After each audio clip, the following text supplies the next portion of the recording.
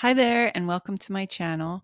Today I am going to make a mixed media piece starting with this little collage that I've already put some papers down. I'm using the watercolor paper today. It's 300 GSM, that's about 140 pounds. And it's a pretty thick paper, so it's really great for collage work and putting down a lot of layers because it doesn't get too buckly. So these are um, some collage papers I had, and I made this collage paper on my jelly plate, and I had put them down previously um, just to kind of start something to get uh, rid of the blank page. So I'm going to put some paint down and just kind of play around and have fun. Hope you enjoy watching. If you like this video, please feel free to give me a thumbs up so I know to make more like it. Okay, so I'm going to start with some raw umber, turquoise, and some bright aqua green. I really love the turquoise and the aqua green together. There's some gesso I'm adding as well. And then I'm also adding in some cadmium orange. I think it's cadmium orange hue. But the first one I wanted to make was kind of like a darker turquoise with the raw umber. I love using the raw umber to kind of muddy up some colors because it kind of gives a little bit more of a naturey vibe to them.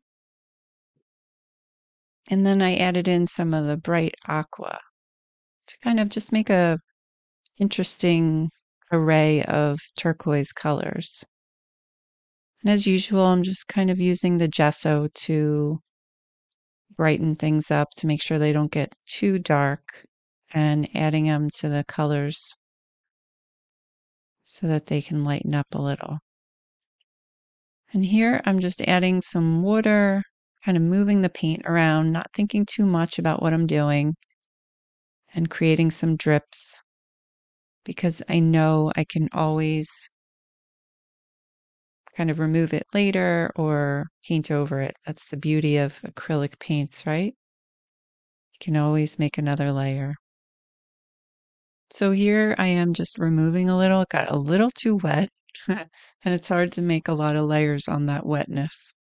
So one thing I want to keep want you to keep in mind here is that I do allow some time for the piece to dry in between layers. And I think that's really important.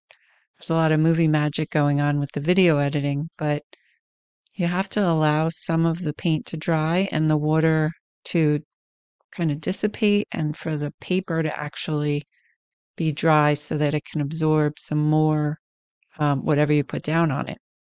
I think we forget to talk about that in video editing. So here's some more water, just kind of doing the drips the other way, seeing what shows up.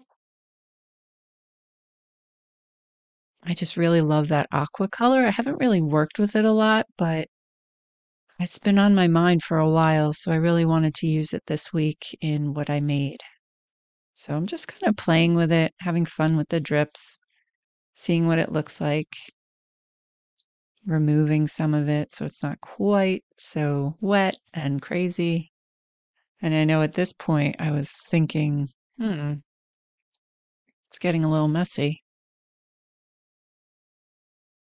But that's what usually happens in the middle. It gets real messy until it's not anymore.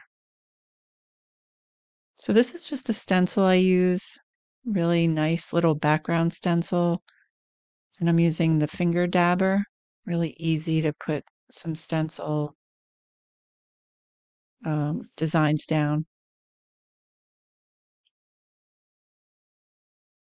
Just have to hold it real still and just kind of twist it around so it doesn't get under the stencil. Same with this one, except I'm using the circular foam brush to kind of dab it in because it's a little bigger. I'm just trying to create some layers, some designs, some interests so that whoever looks at it, the eye moves around, it doesn't get stuck too much in one spot. At this point, I realized it was very turquoisey and very white, so I wanted to add in a new color. And this peachy kind of orange was just the complement that I was looking for. I did add a little of the um, raw umber, and that's why it looks a little bit muddy, which I like. I don't really love bright orange, but I do love combining orange with a lot of different colors. So just kind of having fun and playing around with different areas and then adding some water, seeing what kind of design it makes on its own.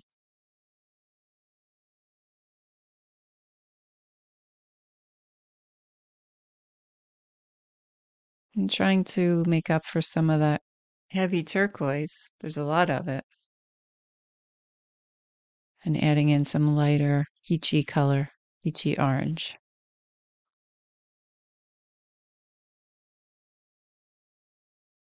And again, a reminder just to let things dry in between the layers, especially if you're going to glue things down like I'm doing here. So I'm using satin medium to put down some of my um, jelly prints. These are ones that I've printed on some deli paper.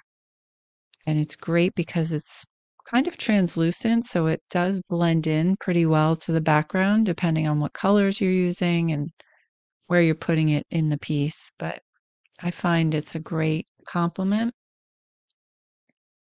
to an already existing painting or mixed media piece.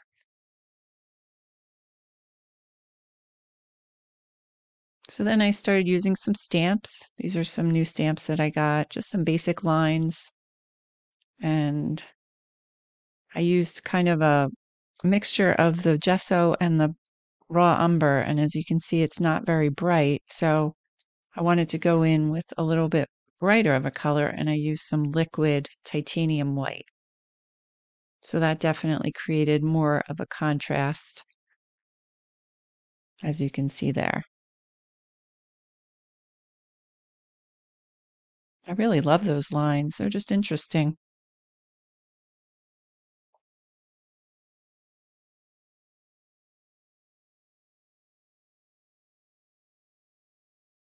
So then here comes the fluorescent pink and some gray. And I wanted to add a little more of the fluorescent pink because I have those deli papers that have the pink on them. So I didn't want them to seem so out of place. So just added a little gesso and a little gray to kind of muddy it up a little so they're not exactly the same, but in the same family. And just using that finger dabber again with the stencil. It's a great way to create objects and shapes on the paper in more of a uniform way. And now I'm just kind of going in with some gesso and clearing out some busy areas. Because sometimes it just gets to be a little too much. So, and I just was playing with some pink on top.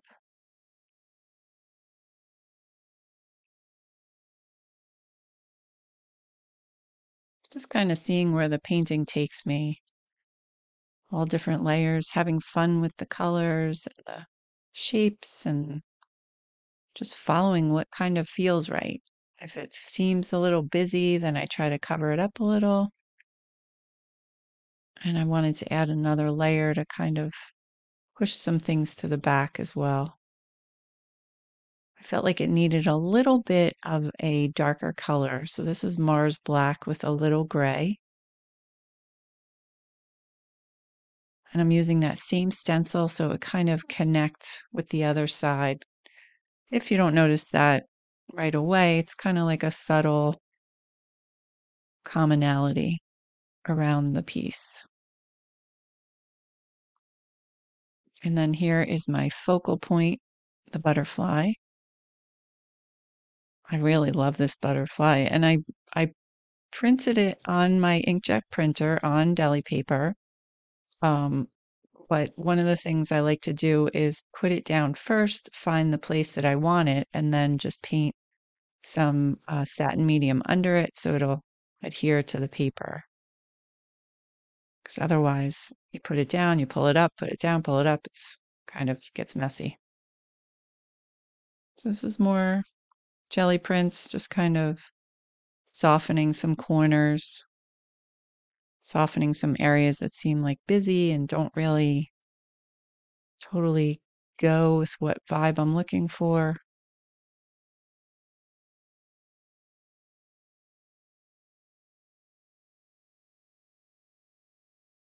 And then I wanted to just show you how I make the actual sentiment. I just draw on, I write on deli paper, cut it out, and then glue it down.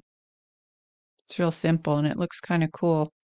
I always play around with the script. Sometimes I write it, just print it, or sometimes I do cursive. Depends on what I think goes best.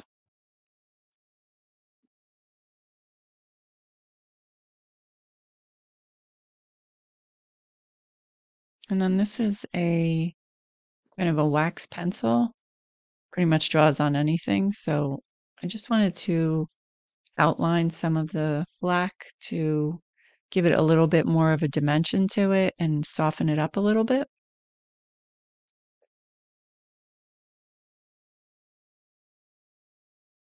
Just kind of going in and doing some details. Same with the black pencil. It's the same kind of pencil.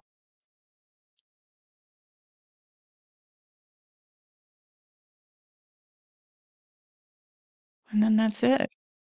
A lot of details. You could see all the stencils and the colors and the stamps. Sentiment, you can even see the collage papers underneath. So this one was really fun to do. I love the colors, how it came out. I hope you enjoyed watching it. And if you like it, please give me a thumbs up. I would love to make more videos that you enjoy watching. Thanks so much for being with me today. I'll see you soon.